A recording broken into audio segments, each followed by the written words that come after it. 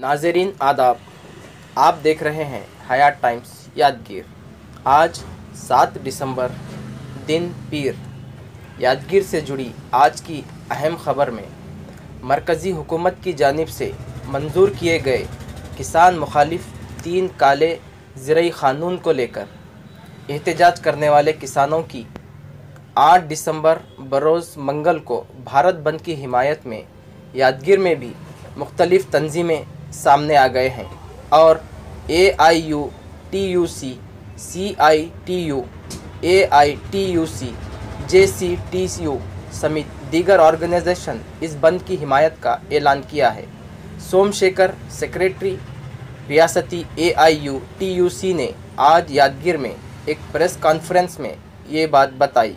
इन्होंने अवाम से अपील की है कि यादगीर में 8 दिसंबर को सुबह 6 बजे से दोपहर 12 बजे तक इस बंद की तायद में तमाम कारोबारी इदारे बंद करके खुद ही से आगे आएं और अपने अपने कारोबार को खुद से बंद रखकर इस बंद की भरपूर हिमायत करें ಕರ್ನಾಟಕದಲ್ಲಿ ನಾವು ಎಲ್ಲರೂ ಸೇರಿಬಿಟ್ಟು ರೈತರು ಮತ್ತು ಕಾರ್ಮಿಕ ಸಂಘಟನೆಗಳು ಇತರ ಎಲ್ಲ ಸಂಘಟನೆಗಳು ಸೇರಿಬಿಟ್ಟು ಬೆಳಗಿನ ಆರು ಗಂಟೆಯಿಂದ ಮಧ್ಯಾಹ್ನದ ಹನ್ನೆರಡು ಗಂಟೆವರೆಗೆ ಬಂದನ್ನು ಆಚರಣೆ ಮಾಡಬೇಕಂತ ಕರೆ ಕರೆ ಕೊಟ್ಟಿರೋದು ಆರರಿಂದ ಹನ್ನೆರಡು ಗಂಟೆವರೆಗೆ ಆ ಟೈಮ್ನಲ್ಲಿ ಎಲ್ಲ ಕಡೆ ಪ್ರಚಾರ ಇರ್ತದೆ ಮತ್ತು ಮೆರವಣಿಗೆ ಇರ್ತದೆ. ಯಾದಗಿರಿಯಲ್ಲಿ ಹೊಸ ಒಂದು ಬಸ್ ನಿಲ್ದಾಣದಿಂದ ಹಳೆ ಬಸ್ ನಿಲ್ದಾಣ ನೇತಾಜಿ ಸುಭಾಷ್ ಚಂದ್ರ ಬೋಸ್ ಅವರಿಗೆ ಮೆರವಣಿಗೆ ಇರ್ತದೆ. ಅಲ್ಲಿ ಒಂದು ಸಾರ್ವತ್ರಿಕ ಸಭೆ ಆಗ್ತದೆ. ಅದಕ್ಕೆ ಮುಂಚೆ ಇವತ್ತು ಇಡೀ ದಿನ ಪ್ರಚಾರ ನಡೀತಾ ಇದೆ. ಈಗ ಆಟೋದಲ್ಲಿ ಪ್ರಚಾರ ಮಾಡ್ತಾ ಇದ್ದಾರೆ. ಸಾಯಂಕಾಲ ಎಲ್ಲ ಬೀದಿ ಬದಿ ಸಭೆಗಳಾಗ್ತದೆ ಬೇರೆ ಬೇರೆ ಇದರಲ್ಲಿ ಬೀದಿ ಬದಿ ಸಭೆಗಳು ನಡೀತಾ ಇದ್ದಾವೆ.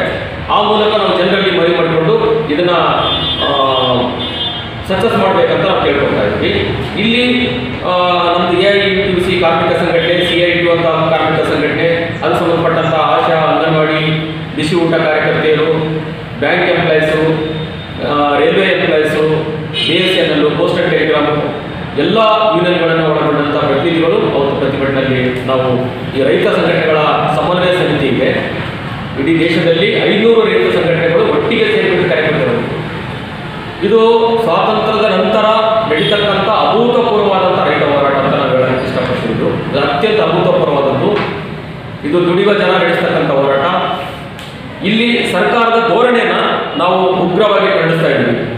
ಸರ್ಕಾರ ಮನವರಿಕೆ ಅವ್ರು ಹೇಳಕ್ ಹೋಗ್ತಾ ಇದು